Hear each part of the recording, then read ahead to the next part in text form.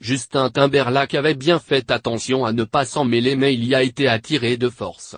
Alors que les scandales sexuels se multiplient depuis des mois aux États-Unis et plus particulièrement à Hollywood, Justin Timberlake fait partie de ceux qui ont toujours soutenu la cause des femmes.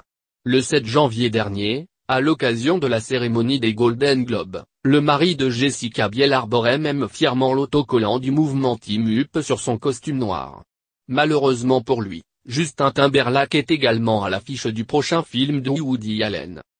Or, depuis une semaine et les accusations de sa fille adoptive Dylan Farrow, le réalisateur américain est dans la tourmente. De son côté Justin Timberlake a préféré garder le silence et ça lui a été reproché sur les réseaux sociaux par Dylan Farrow elle-même, tu ne peux pas soutenir le mouvement Team Up et encenser des prédateurs sexuels en même temps a-t-elle écrit sur Twitter. Justin Timberlake, lui, n'a toujours pas réagi.